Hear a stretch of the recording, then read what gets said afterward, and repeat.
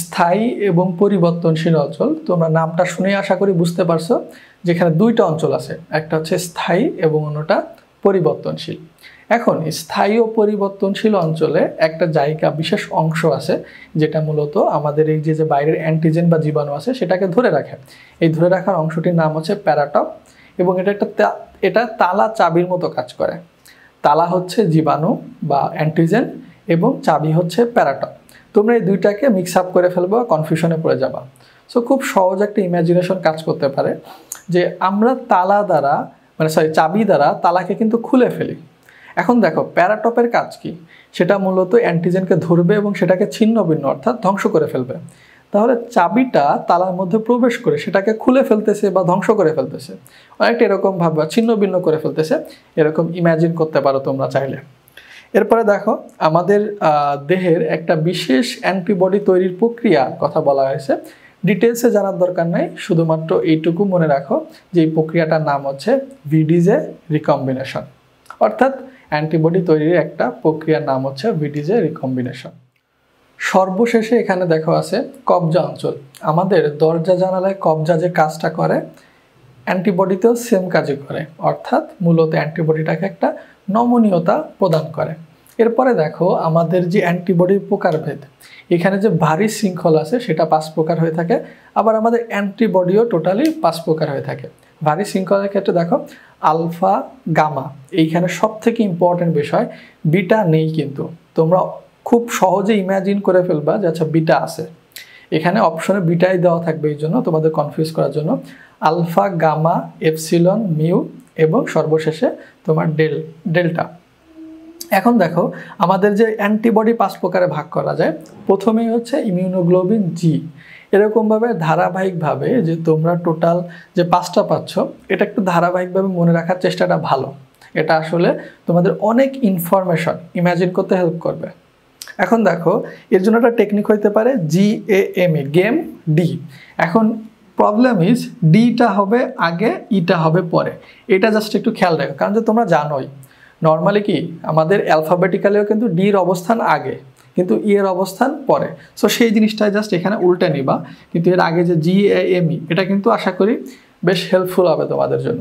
এখন ইমিউনোগ্লোবিন এ এর sorry immunoglobulin জি যেটা, সর্বপ্রথম যেটা, প্রথমে অবস্থান এবং এর পরিমাণও সব থেকে বেশি, সেটা হচ্ছে পঁচাত্তর পার্সেন্ট এবং এটা কোথায় পাওয়া যায়? রক্ত, লসিকা, তন্ত্র সরি অন্ত্র এবং টিস্যু তরলে।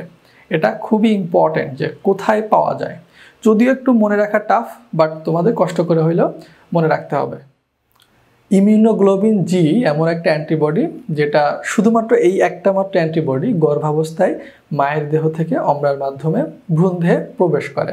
এই তথ্যটা মনে রাখা ইম্পর্ট্যান্ট কিন্তু ইমিউনোগ্লোবিন এ এর একটা কাজের সাথে তোমরা এটা কনফিউজড হয়ে যেতে পারো। সেটা হচ্ছে ইমিউনোগ্লোবিন এ মায়ের দেহ থেকে মূলত বুকের দুধের মাধ্যমে সন্তানের দেহে প্রবেশ করে। তাহলে ইমিউনোগ্লোবিন এ প্রবেশ করে মায়ের দুধের মাধ্যমে এবং গর্ভাবস্থায় অমরার মাধ্যমে প্রবেশ করতেছে ইমিউনোগ্লোবিন জি এই দুইটার জন্য তোমরা মিক্স আপ না করে ফেলো, তার জন্য একটা সহজ টেকনিক হইতে পারে যে তোমরা যদি কখনো অভ্র কিবোর্ডে গর্ভাবস্থা লিখতে যাও, অবশ্যই গর্ভ মানে গ কথাটাকে কিন্তু জি রিপ্রেজেন্ট করে।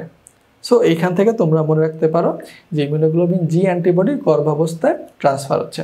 এরপর দেখো ইমিউনোগ্লোবিন এ এদের টোটাল পার্সেন্টেজ হচ্ছে পনেরো ভাগের মতো। আমাদের টোটাল যে ইমিউনোগ্লোবিন আছে, তার পনেরো পার্সেন্ট হচ্ছে ইমিউনোগ্লোবিন এ এবং কোথায় কীভাবে যায় সেটা আমরা জানি। এখন দেখো ইমিউনোগ্লোবিন এ এদের এদের টোটাল পার্সেন্টেজ হচ্ছে পাঁচ থেকে দশ পার্সেন্ট এবং এবিও ব্লাড গ্রুপের যে রক্তকণিকা আছে সেখানে, সেখান থেকে যে অ্যান্টিবডিগুলো তৈরি হয়, সেগুলো এই ধরনের হয়ে থাকে এবং ইমিউনোগ্লোবিন এ রক্ত লসিকায় পাওয়া যায়। এটা আমাদের যে কমপ্লিমেন্ট সিস্টেম আছে, অর্থাৎ বি ধরনের যে প্লাজমা প্রোটিন সেটাকে সক্রিয় করে। এবং সর্বশেষে খেয়াল রাখবা যে কখনো কখনো বিশেষ ভাইরাস বা ব্যাকটেরিয়া আক্রমণের ক্ষেত্রে ইমিউনোগ্লোবিন জি এবং এম একত্রে কাজ করে। জি আর এম যে একত্রে কাজ করে, এটা মনে রাখা ইম্পর্ট্যান্ট এখন মনে রাখা একটা সহজ টেকনিক হচ্ছে যে কোনো একটা কোম্পানি বা প্রতিষ্ঠানের একটা পদ থাকে জিএম জিএম দ্বারা বোঝায় জেনারেল ম্যানেজার কিন্তু আমরা জেনারেল ম্যানেজার মনে রাখব না, আমরা মনে রাখব জিএম দ্বারা জি আর এম একত্রে কাজ করে। এরপরে দেখো আছে ইমিউনোগ্লোবিন ডি এদের টোটাল পার্সেন্টেজ হচ্ছে এক পার্সেন্টের থেকেও কম।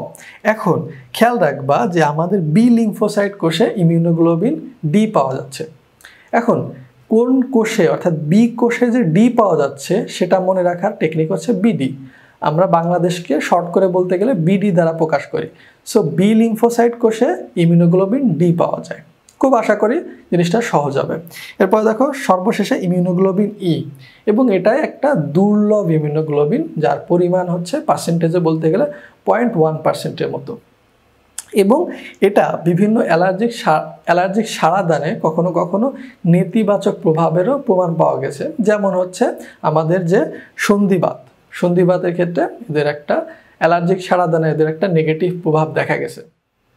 অ্যান্টিবডির কাজের পদ্ধতিকে প্রধানত তিনটা শিরোনামের আওতাভুক্ত করা যায়। প্রথমে আছে দেখো, এখানে যে অ্যান্টিজেন বা বাইরে যে জীবাণু আছে, তার বিরুদ্ধে একটা প্রত্যক্ষ আক্রমণ। এর পরবর্তীতে তোমার কমপ্লিমেন্ট প্রোটিনকে সক্রিয়করণ এবং সর্বশেষে সংক্রমণের বিস্তার প্রতিরোধ। এখানে খেয়াল রাখবা, এই তথ্যটা কিন্তু খুব বেশি ইম্পর্টেন্ট না। চাইলে তোমরা পাশে এনএসআই অর্থাৎ নট সো ইম্পর্টেন্ট লিখে রাখতে পারো। কিন্তু এই যে যে শিরোনাম আছে, সেগুলোকে আরও কয়েকটা ওয়ে বা বিভিন্ন পদ্ধতিতে ডিভাইড করা যায়।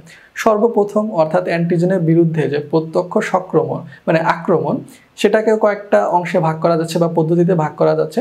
প্রথমে আছে, দেখো, স্তূপীকরণ বা অ্যাগ্লুটিনেশন খেয়াল রাখবা, তোমরা অবশ্যই ইংরেজি নামটাও মনে রাখার চেষ্টা করবা। এরপর দেখো অদক্ষেপণ বা প্রেসিপিটেশন সর্বশ, এর পরবর্তীতে আছে, প্রশমন বা নিউট্রালাইজেশন নিউট্রালাইজেশন এবং সর্বশেষে এখানে আছে লাইসিস বা বিশ্লিষ্টকরণ।